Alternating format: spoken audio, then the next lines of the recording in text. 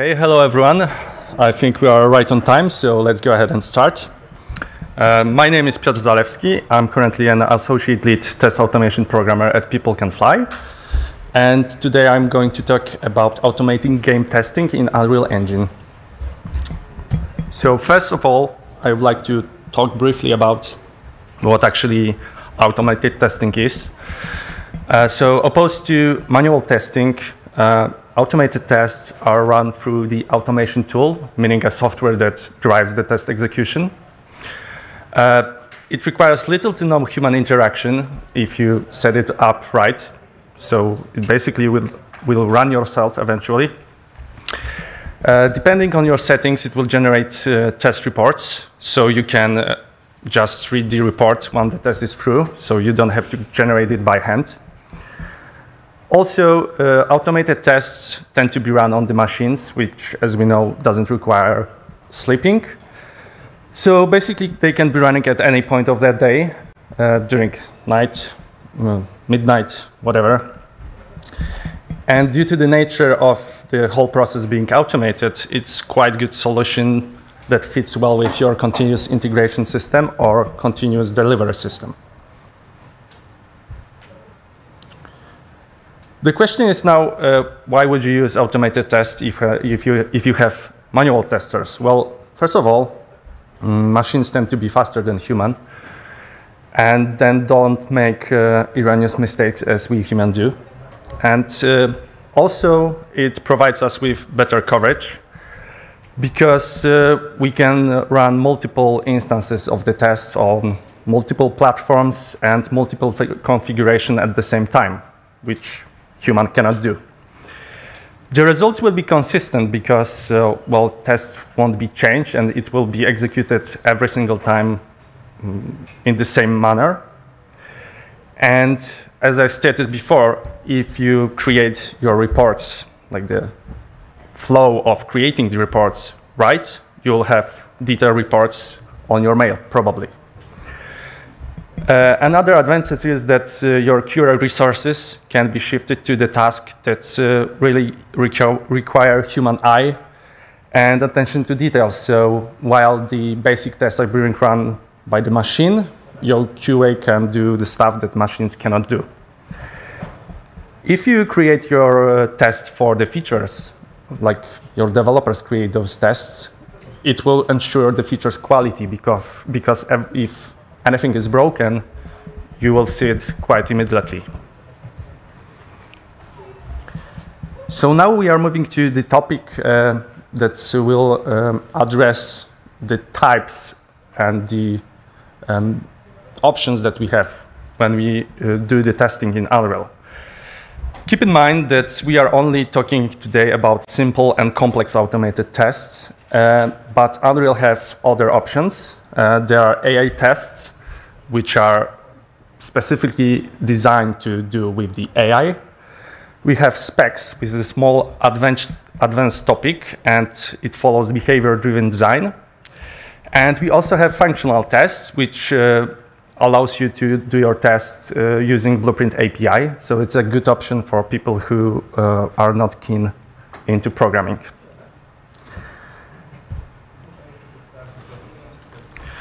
So uh, I will briefly describe to you uh, what is Engine Automation Framework in Unreal.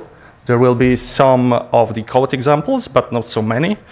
Uh, the idea here is to let you know what, what's the structure of the framework so you have better understanding how to use it. So first of all, we have a struct called F Automation Test Framework, and it's, uh, it represents your framework. It's uh, basically mm, driving the execution of your tests. So every time you issue a test, the framework, the class will handle it. It allows you to filter tests by their types and their run context, on which I will talk a little bit later. It also is responsible for uh, concluding the test, and this includes um, interpreting test results. Uh, moreover, we have the thing called latent command that I will explain on the next slides. And it handles them. It uh, ensures they are completed, it starts them, it queues them, um, and dequeues them. Also, it have a couple of delegates that might be useful when you are writing your test.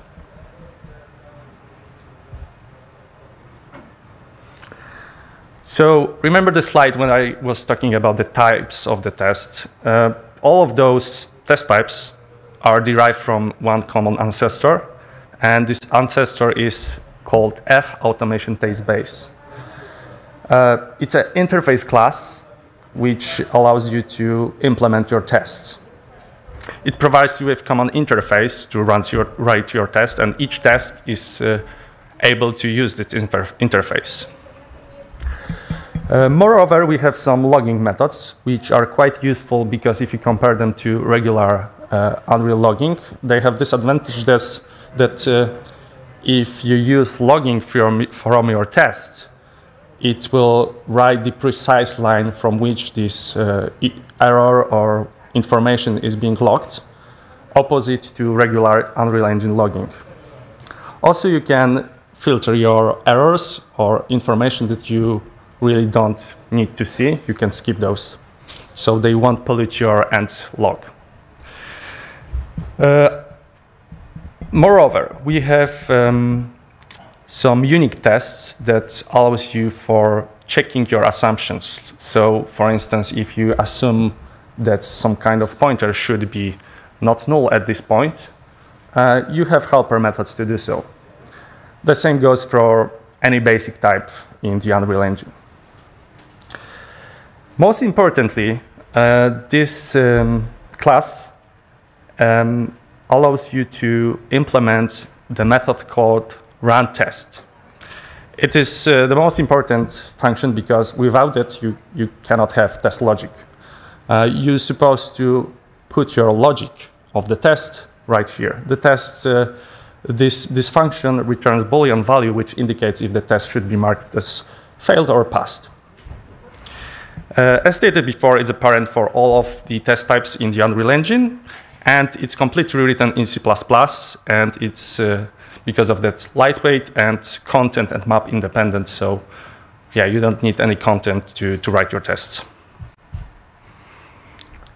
So moving on to, um, uh, to discrepancies between simple test and the complex one.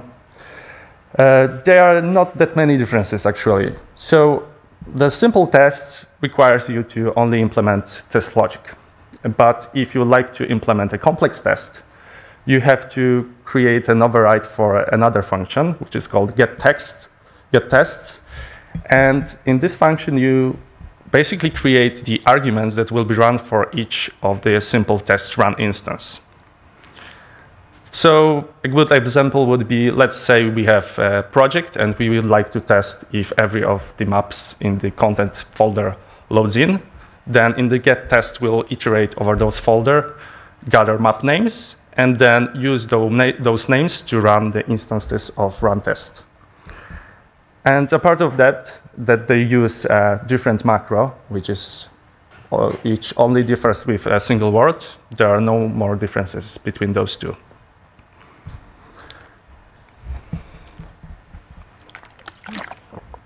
So now a little bit of coding. So to create uh, simple and so-called instant automated test. Uh, instant meaning that the whole uh, logic of the test will be handled in one call when we execute our test logic. We have to do uh, at least two things. So uh, Epic suggests that, uh, well, it's not a suggestion here, but you should put your uh, test source, test code in the source file, meaning with the CPP extension.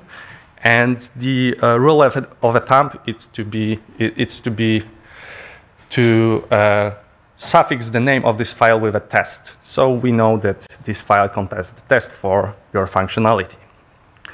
So first what you have to do is to use the Epic provided macro, which is called implement simple automation test. And this macro takes three arguments. And the meanings of these arguments are the following. So first of all, you have to provide the uh, class name, meaning the name under which your program will know and recognize this test. So if you debug your test, you will see the name of this class. The second argument is so-called pretty name. Uh, it's uh, a name under which you will um, issue our test and the name under which you will see the test name in your Unreal front-end automation uh, page. Uh, the third argument that we need to provide is a combination of enums that specify what type of test we are creating.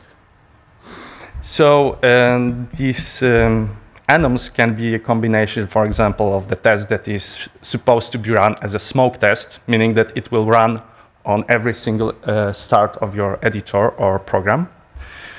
Or you can specify that this type of test is only meant to be run in the editor context, so it won't be accessible for you in the regular build. Okay, so once we have our macro, we have to implement the test logic. And as I said before, you have to implement the function called run test. So the argument parameters here is only accessible if you create the complex test. Those are the parameters that comes from the get test function. Uh, but if you would like to use some other parameters, you can always use the general command line and parse your arguments there. So in this uh, simple example, we simply get uh, the global world pointer, and we use uh, another macro that encloses unit test underneath, and we test if the pointer is not null. So underneath this macro uh, checks obviously the pointer, and if the pointer is uh, null, it returns false. But you can always use uh, test equal, which is basically the same, but it doesn't lose the macro and it won't uh, include any return, returns that are not visible at the first sight. So we, if this passed, we simply return true and the test concludes. But obviously you can create more complex tests on your own. Uh, so pros of this approach is that it's fast and simple. It requires only basically two things for you to do. Mm, but on the other hand, if you'd like to do some costly operation like opening a level, well, it will stall your main thread. So if you're trying to do some performance measurements, it's not the best option. So to handle this, uh, we have something called automation latent commands. And automation latent commands also derive from the abstract class. And the reasoning behind creating those is to defer the test execution or non or to not block the main thread. Uh, similarly to the F automation test base, if it provides with common interface, and it requires you to implement only single method called update. Uh, when you create or declare your command, you can declare a couple of parameters that will be usable in your update command. Uh, all of the latent commands can be queued in your run test functionality, and it basically will populate the QE of the commands, which then will be executed in the first in, first out order. The execution of this command is handled in a tick-like behavior, meaning that if the command was queued, we will hit the update method every single tick that the framework is ticking, and we will see if this command should be marked as concluded or we should re-enter the scope of the update function again the, on the next tick. It's uh, quite a good choice for time-consuming operation, or if you would like to, I don't know, stall the execution of your test for fixed amount of time. Maybe you are waiting for some, uh, I don't know, assets to be loaded, or you don't want any artifacts being generated due to starting the test as soon as the map loads. So yeah, you can figure it out. Also, Unreal provides us with quite rich command library. Uh, there are um, commands specifically designed to be used in the editor, and also there are commands to be used specifically in the build uh, build games. Yeah.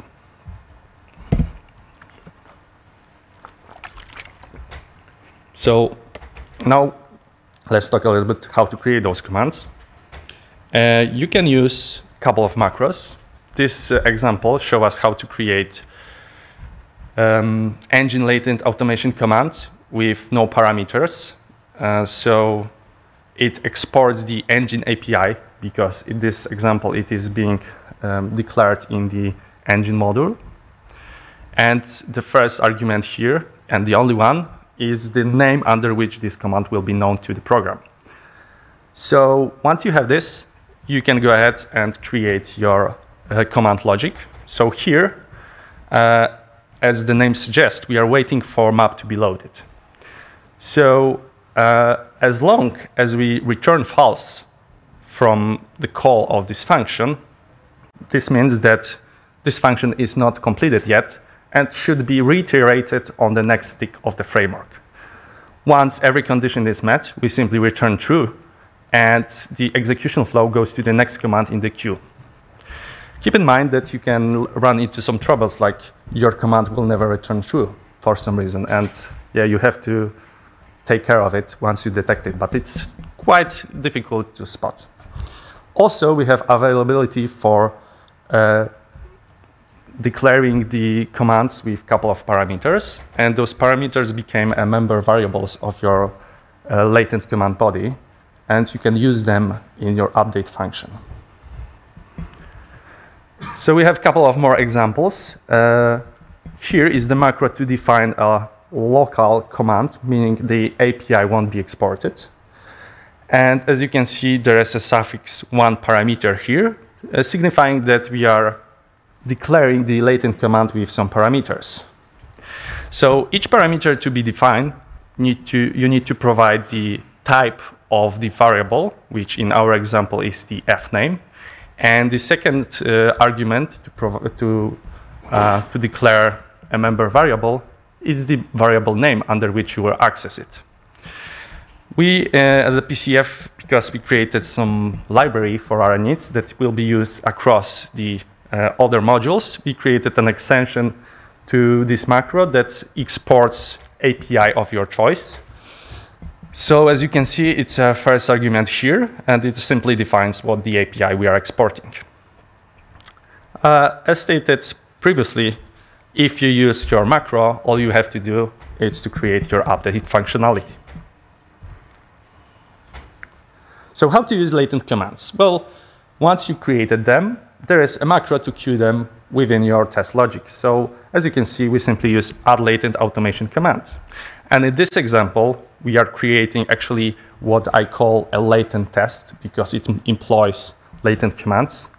So here, uh, a part of the remaining test logic, which is not that important in our example, we simply instruct engine to wait fixed amount of time, meaning that the update function of this latent command will be hit on each iteration until we exceed wait time, which is two seconds. Then we simply issue an exec command, instructing the engine to set resolution to 640 by 480. Then we wait again, and then we restore the resolution, basically.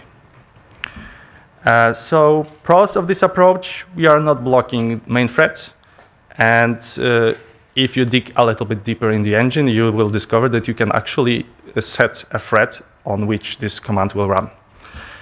On the cons, uh, yeah, debugging tends to be cumbersome because, uh, well, you, you never know at which command you're actually at. So you would have to put a breakpoint in each of the update function body to know where you're actually at. So yeah, tracking the test progress might be a little bit difficult.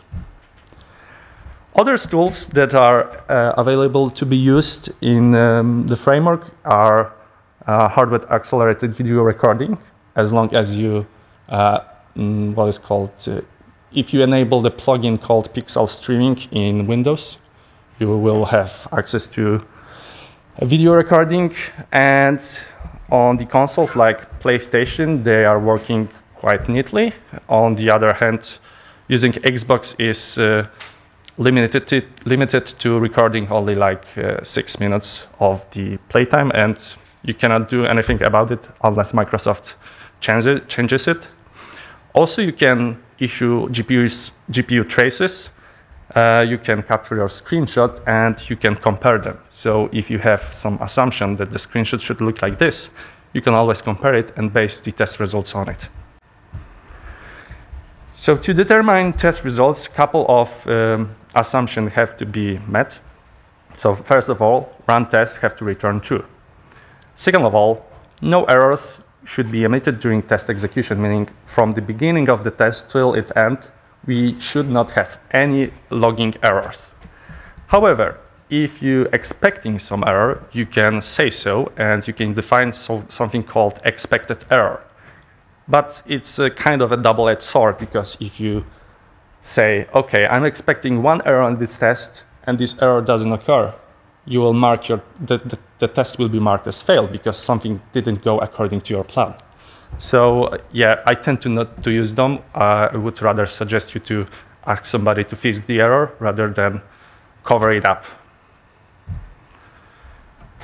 So once we are done talking about how to write our test, let's talk how to run them actually. So the first option you have is using the uh, command line. So we have a couple of examples here. So the, your bread and butter would be using minus exec commands equals, and then we have a keyword called automation.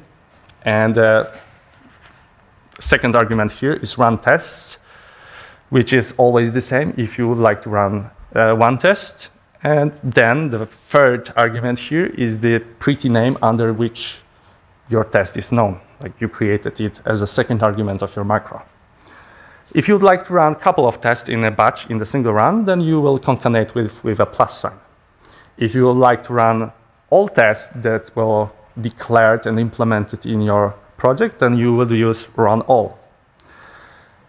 If you would like to employ running tests in the batches filtered by uh, a enum, which was the third argument in your macro, you can use it with the keyword run filter. And then you would have to use the filter that we would like to run. Those filters are available in the source code, so I'm not including this, those here because you can easily look it up. Uh, there's also a helper function that will list you all the tests that have been implemented in uh, your project if you would like to have a list to look at. Also, and, uh, Unreal Engine provides you with the test results visible in the log, but they are not uh, that well visible. I mean, it's only a logging, so you have to look through your log and see, okay, this test was marked as uh, successful, this test was marked as failed. Um, yeah, you can also put those commands directly in your running program, and it will execute the test immediately as long as it was found. Keep in mind that there are no support to uh, add specific arguments unless you started your program with the command line already put in. There's uh, some other options to run the test. If you open something called session frontend in your tools running the editor, there is a tab called automation. And uh, as you can see, it has quite intuitive interface. Uh, we have a search box, we have a filter box, the results are much more clear because we have uh, coloring. So green means good, usually red means bad. And there is no support for command line arguments, and it only shows are the tests that were marked as usable in editor context. So only those tests can be run this way.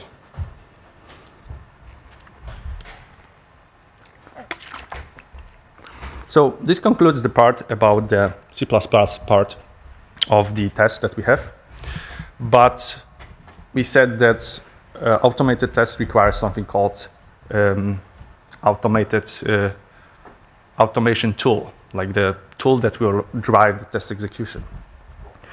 So this tool is called Gauntlet in Unreal. It is actually a framework that uh, is part of your Unreal automation tool. Uh, it is written in C Sharp, as most of the scripts in the Unreal, and it's capable of preparing your test environment based on the commands that you provided it with. It is also capable of running multiple instances of tests on one or multiple machines. So let's say you want to run three tests at once on your machine, you are free to do so as long as you specify it in your script. It's it has quite uh, useful uh, functionalities to handle consoles. Uh, let's say your PlayStation 5 or 4 or Xbox is not responding, Gauntlet will detect it and it will reboot your console for you. It is also capable of updating operating system or install builds. Moreover, it can access hard drive of uh, your console and gather any artifacts that were created during test execution. It's obviously provi uh, providing a way to forward your arguments to the Unreal Engine, so it knows how to instruct the engine to issue a test. Uh, it, it, it can monitor responsiveness of your process, so if for some reason your engine got frozen, a gauntlet will detect it, that the heartbeat wasn't issued, and will probably mark the test as failed and kill the process. It is also capable of creating test results. Uh, it is based on parsing the logs, and if any crash or entry occurs, Gauntlet will neatly cut the uh, call stack from the crash and put it in your report. Also, obviously, as it can parse the log, it can determine if the test was failed or passed. Um, so Gauntlet is quite daunting to be uh, used, actually. At the first sign, uh, say, sight, it looks very complicated, and the documentation is talking about uh, high-level structure. It's not talking about the code itself. So to be honest, it took me a little while to get a hold on it. But once you do, it turns out that you don't need that much to run it. So actually, what you need to run any test, uh, assuming it's not the editor, uh, you have to provide the absolute path to the build. Uh, second of all, you have to specify what type of platform and configuration you would like to run your test against. Third of all, you have to specify project name that you would like to test. Optionally, Gauntlet have a couple of useful parameters, like for instance, you can specify the target console you would like to test. But if you fail to do so, Gauntlet will choose the default console uh, chosen by your uh, work environment. Um, from uh, among the examples, like you can specify that if you are running on Windows, I want to run test in windowed mode. I can set resolution. I can instruct that I don't need rendering. I can set max duration, meaning that if the test took longer than some fixed amount of time, we'll mark test as failed. There are much more of those, and they are easily to be extended. You just simply look at the code and copy the same. They, they, you don't need to add any parsing functionality. They, they will work straight ahead out of the box. Okay. So now you can learn on our mistakes or our experience. Uh, so we started development of the test quite late in our um, develop development cycle. And we didn't really know what we were doing back then, but it helped us to develop some useful things that I hope you will find useful. So our first idea was to create something called level transition test. And the idea was that the test will teleport the player from one level to another and check if this travel was successful. Well, with time, it grew to quite complicated tests and it beat us quite badly in the end because, uh, well, it was failing almost constantly, and uh, yeah, it, it was too complex to be run as simple test. Moreover, we wanted for people that are not able to program to write tests as well. And for that, we created our custom blueprint API that was mainly used by our dev QA team. We decided to, test, uh, to send test results in the mail, but it wasn't the best idea, and I will show you why in a moment.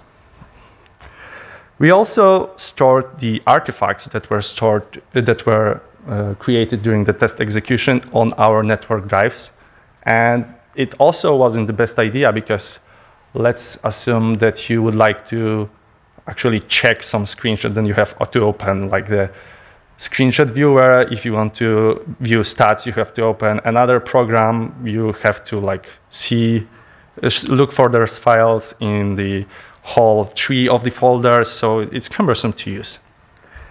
We did create some custom graphs leveraging, leveraging Grafana, and uh, back then we used Influx database because it was the thing that we had, but it was not optimal for the type of data we, that we were trying to store. Uh, because Gauntlet was not available at the time, we had to write our custom scripts to handle consoles, and we used those to issue um, tests from the Jenkins. So yeah, here's the example of simple test. Uh, it's not as simple as you can see.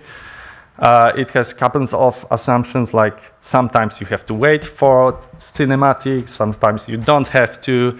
There are also, we have to track the progress of the test, which uh, we, we had an idea that, well, okay, the test is crashing sometimes, so let's create a, a crash recovery system. And yeah, it was getting out of our hand to support this kind of test. So rule of a thumb, make your test as simple as possible, rather test like a small chunk of functionality rather than test the whole game in simple tests because, well, you will have troubles uh, to understand if the test should be marked as passed and failed. So if you have like 30 transitions here and one of them fails, so what would you call this test? Is it passed or is it failed? Is it partially passed? Like, I think you get the idea. Here we can see, uh, for instance, the graph, which is took from the Grafana. So we, we took those graphs and we put those in the mails. But uh, the issue with this approach is that there is no tooltip, so you cannot hover over the points of the graph so you can only like maybe take your measurement and put it in your monitor and try to figure out, okay, is it like 85 or 84? And uh, another issue of that, if you are not on the mailing list when this test report came, well, you can never get it. so you have to ask somebody, hey, hey man, do you know the test report from change list number 621770? on Windows development on this test. Can you forward me it? Yeah, so it's, it's not ideal. So we opted to move away from this approach. Yeah, so here are a couple of the experiences that we have. I think I explained a couple of those, but let's double check. Yeah, so first of all, write simple tests, uh, which can be easily understood if it failed or it is succeeded. Uh, maybe don't use your mailing inbox to store the test results because, as I said before, it's hard to be shared within the company.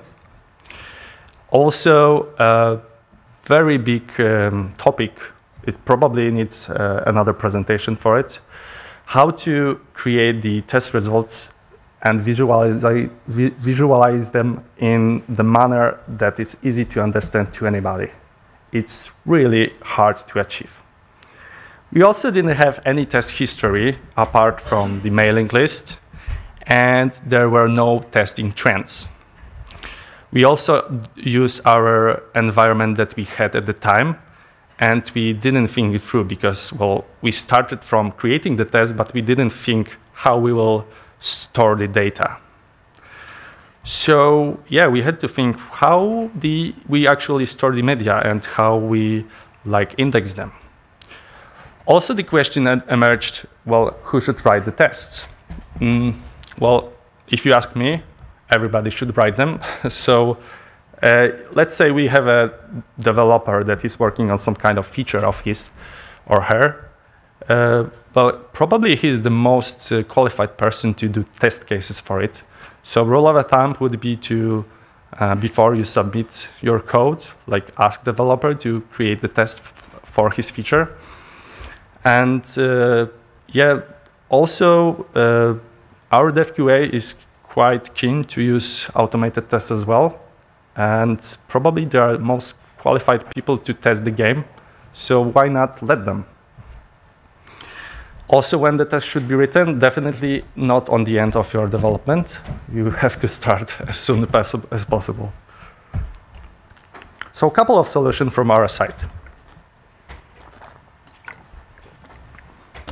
We had to think through where we are going to store the data. We wanted uh, the data to be easily be, to be tracked. We wanted to have some trends. We wanted to be able to search the test by, uh, I don't know, the platform, the name, whatever. Also, we had to think through how we will stock the logs, the media, the stats. We wanted to have some custom graphs to visualize the test data. And we wanted it to be accessible through the web page, so you wouldn't need any third-party uh, software.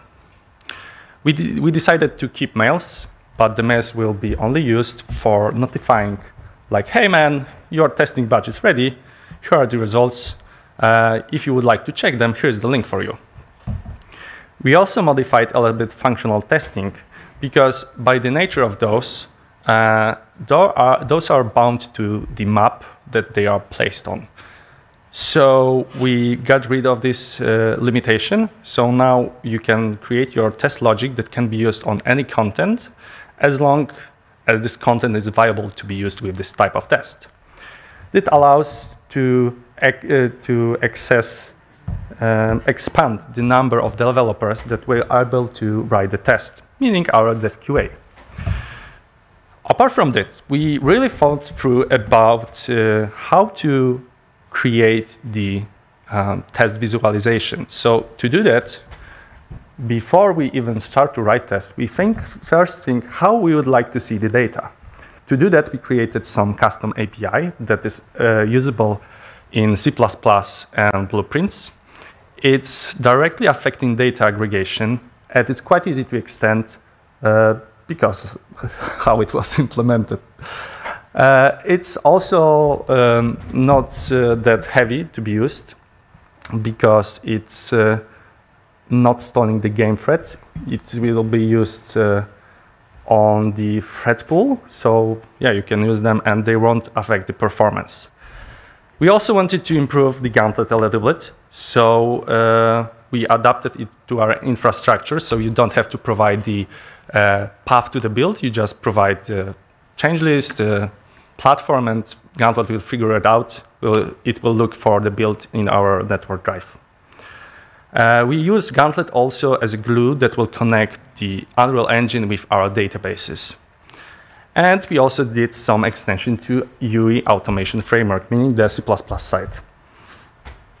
So we changed a little bit approach of writing the test, and we created a class that will actually have the F automation test base which will be your test logic. And it splits the logic of the test in a couple of steps. So a uh, couple of those are optional. So there is a function called initialize that you don't have to implement if your test is really simple. But if it does, it's separating the initialization logic into other function, so it's easier for you to debug. Also, you can choose between the latent test and the instant one. So you can see what type of test you are looking at. So you know where to look for the uh, for the issues, you know how to debug it, because as I said, latent commands are quite difficult to be debugged. Finally, we have instant test, uh, oh, sorry. We have latent, latent commands, which will be used by your latent test. We have instant test, which will be used by your instant test. And we have optional finish test, will, will wrap up your test maybe uh, summarize uh, or clean up after the test. Um, yeah, I think that's it. So we expanded the macro a little bit. So here, basically, you can see the replication of the logic. Like we always call the initialize first. If the initialization failed, then the test should be marked as failed instantly. However, if it passed, we'll either queue latent commands in our latent, uh, latent test, or we will just uh, do instant test uh, in case of the instant one. Finally, we are uh, using wrap up, meaning finishing the test up. Uh, yeah, the, the advantage of this approach is also that in the regular F automation test base, well, you cannot use uh, inheritance, but in this approach, you can actually create your testing class, and you can add some member variables there, and you can reuse it with the another test. Yeah, so uh, here's the pipeline that we use at PCF currently. So we use Jenkins as our continuous integration system that builds this builds for us, and we uh, are going to use Jenkins as a, um, as a way to trigger Gauntlet and instruct it to run for te some test for us. So as you can see, Gauntlet starts the Unreal Engine uh, with the command line that we chosen, meaning instructing it to run some test. And then Gauntlet analyzes test results. It gathers all the artifacts from uh, the console, the Windows, whatever, and then it realizes to appropriate database. So we use Grafana Loki plugin to store the logs, and we use Google Drive to store all the heavy data like videos and screenshots. And we store all the other data in PostgreSQL. With the Google Drive, we first upload the data to the Google Drive, and then we substitute the paths to the media in our Postgres database. All of this data is accessible to us in Grafana, which we use as our test results frontend.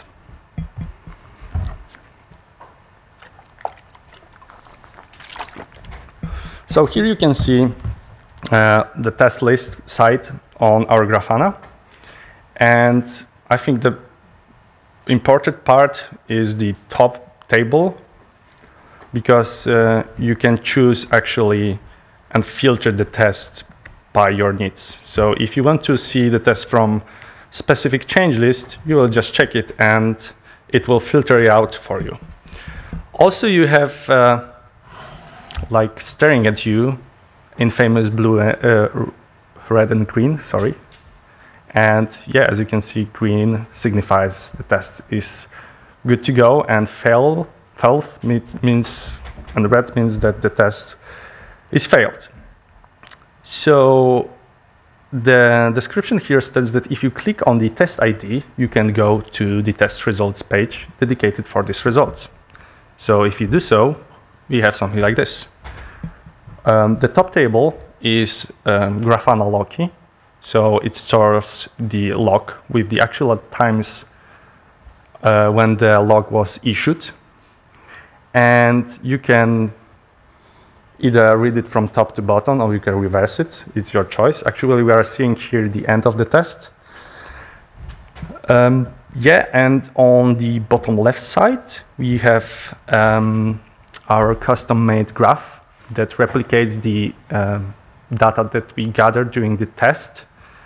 And this graph is actually interactive, so you can click on it, you can zoom it out, I guess, and you have a tooltip. So now you are know what you are looking at actually. Uh, the place on the bottom right side is the place for your screenshot. So the API was designed in this way that if uh, if you do grab a screenshot during the test execution, actually if you hit S, it will show you a screenshot. So you can see, for instance, a spike on your uh, graph of your performance graph, seeing that, um, I don't know, the RHI thread is really high. So you hit S and you can see what's going on on your screen. We are also planning to uh, synchronize this graph with the video. So the idea is that once you hit play, it will follow the graph and it will play back the video for you so you can see at every single time what's going on on the screen. So yeah, you don't have to guess what's happening. Yeah, and that wraps it up. And I would like to help everybody involved to this project because it took a couple of years to get to it.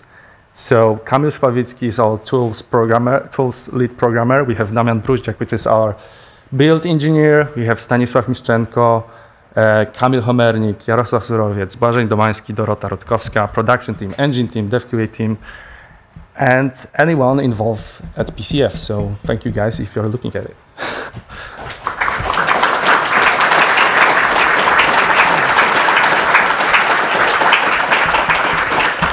Uh, so obviously, if you have any questions, now is the time. If we don't have much time left, you can always ping me later. So.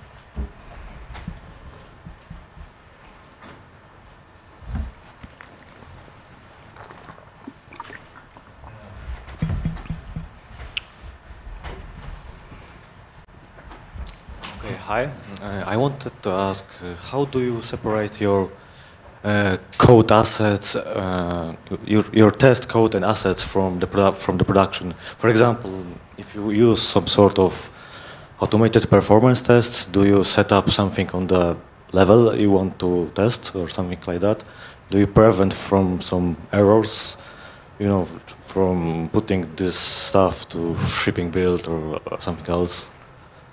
Uh, I'm not sure that I'm getting your question right, but um, are you asking if we do put some debug data on the levels to, to Uh, grab performance? Or? I I wanted to ask if there are some situations when you want to test some production stuff, like, uh, for example, is the performance test. You want to test a map. You do.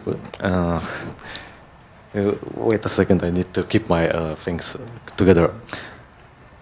Uh, so, so may- maybe I just uh, say about context because I have uh, some my personal problem in my project because uh, I'm trying to develop some performance test for our project, and I have a problem with setup, with mm with with setup this because we don't want to. Uh, in other hand, I need to put some my deb- my debug my debug actors on level we want to um, test, but I'm not sure how to prevent situations to uh, keep this data be- be- before. So it's not interfering with your performance, right? Yeah, Well, the idea is that we, like, I guess we put markers on the level, and those markers are really lightweight and they are not affecting performance at any point. We simply spawn our camera there, and we can like direct it in the direction, and it's not affecting performance actually in this way.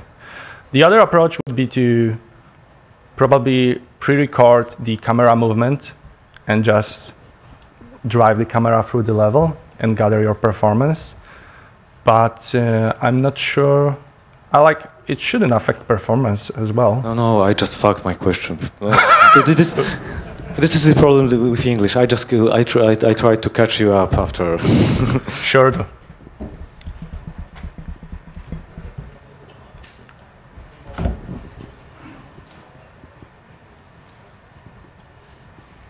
Uh, hey, so you mentioned that you started testing pretty late, and I wanted to ask you, like, how much uh, did you have to refactor your code to make testing available? And uh, a follow-up question: um, Did you learn that some stuff in Unreal cannot be tested automatically? Or, okay, they probably can be tested, but you have to uh, put a lot of effort, so it's not worth. And you decided to test it manually. Um, or um, maybe it's a matter of approach and if you like uh, know um, before uh, implementing stuff how to approach them testing is actually possible without much effort Okay. Uh, so, first question. Uh, can you repeat that? Sorry. yeah uh, first question is uh, Oh, how okay, much stuff refactor did you have to yeah. refactor So yeah, we actually we just had to put it all into the bin after the first iteration because it was the our assumption was were wrong. So we had to like put the code into the bin, but we keep the experience in our head and we created the new API. And we, for example, we completely abandoned uh, uh, our own blueprint API and we reused the functional testing. We just made it accessible uh, to follow the rule like don't reinvent the wheel. Uh, so yeah, shortly, yeah, we had to refactor completely everything. Uh, the second question, like it's always the matter of time because my approach is like everything is doable if you can, if you have time to spend. So there are some things that are not worth automating because uh, you, you, you could probably create a solution for it, but it will take so much, so much amount of time that it's not worth it. So every single, um, every single case should be discussed probably with, uh, with your QA. And you, know, you, you can always discuss like, hey man, I can do it, but it will take like half year of, of my work. I think it's not worth it. Like how often are you doing this test case? Maybe it's uh, like it's faster for human to do it. So yeah, also the reason, uh, the rule of a thumb is don't try to automate everything. Not everything can, can be automated. For instance, like we tried to automate testing of the breakpoints in blueprints, and we found out that yeah, actually Epics uh, commented out like we cannot do it because in the breakpoint there is no ticking, so we can do we cannot do it. So short answer: don't try to automate everything uh, see every case as a separate scenario, discuss it, and yeah, think if it's worth it. Sometimes, sometimes it's not. Okay, thank you.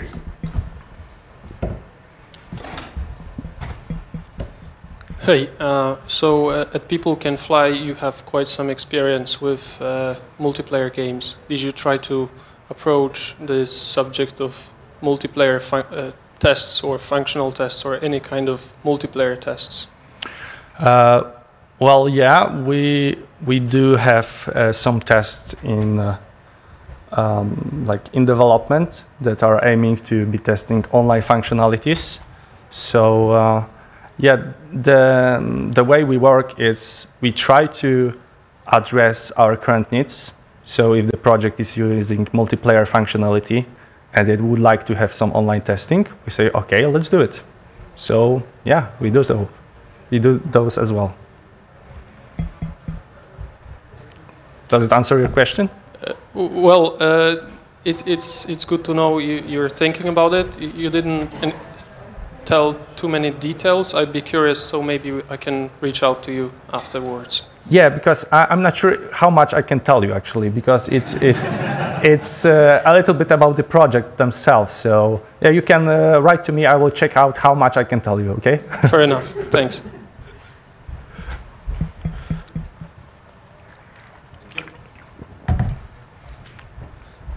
Well, I've seen that you have quite extensive backend with uh, uh, and, and, tools for gathering the data, emails, uh, databases, and that's cool for a big studio. Do you have any advice how to approach all of that with uh, for, for a smaller studio that has like 10 people, or is it even worth it? Uh, well, you can always use mailing, but mm -hmm. like if you have only 10 people, probability that we will lose some reports is quite small. So maybe you can do that. Like you can simply write scripts in your gauntlet that will create a, will forward the um, report from gauntlet to all of your people and it should solve it. Like you'll have the information and you, if you like, you are a small studio, you don't need a extensive database for five or seven projects. I should. I think it's it should be sufficient. Just stick with the, with the gauntlet, right? Yeah, I it think should it should be enough. Yeah. Cool. Thank you. Okay, I think I don't see any more questions. So, like, just remember we are hiring. So, if anybody is interested in automated testing or any other aspect of the game development, let us know. And always you can find me on LinkedIn. And if you have any question that emerge after this talk, write to me. I will try to respond to you. So thanks, guys.